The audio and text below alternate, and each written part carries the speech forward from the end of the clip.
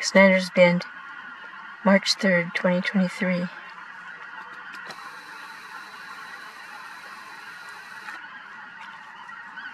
Geese of all kinds.